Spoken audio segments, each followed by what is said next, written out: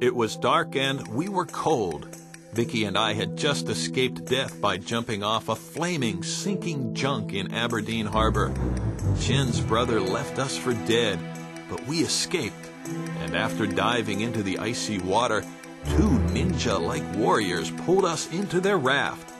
As we made our way in the night, I spoke first, and our rescuers removed their masks. Thanks, I think. We would have died in that water if you had not. You are the woman from the hotel lobby. So, you did notice me, Mr. Hamilton. I'm Karen Lee. I work for the Hong Kong branch of Interpol. You've been following us? Why?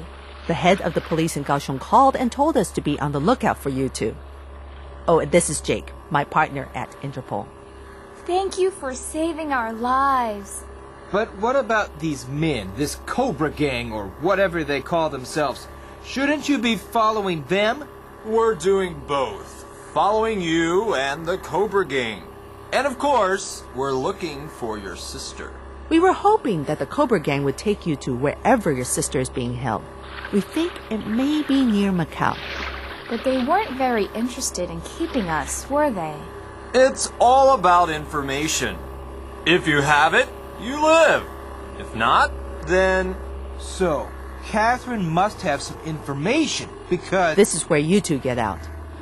We've arranged for this old man to take you in his fishing boat over to the police station. from there, the police will take you back to where you are staying in Hong Kong. Why can't you just take us there? Now that we saved your lives, we need to try and catch up with the Cobra Gang and see if we can follow them. If you can do that, maybe they'll lead you to my sister. That's what we were hoping to accomplish. I suggest that you two take it easy for a couple of days and let us do our job. Vicky and I were soaking wet as we stepped off the raft that held Karen and Jake, and then onto the old man's fishing boat. His smile was missing a few teeth, but he nodded at the Interpol agents in silent agreement.